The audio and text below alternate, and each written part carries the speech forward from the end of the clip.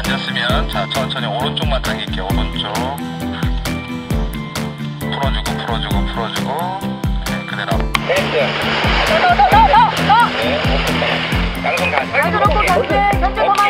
네, 왼쪽으로 약간 틀어주시고.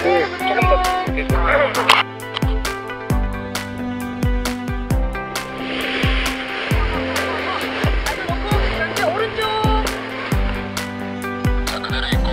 천천히 오른쪽만 당겨.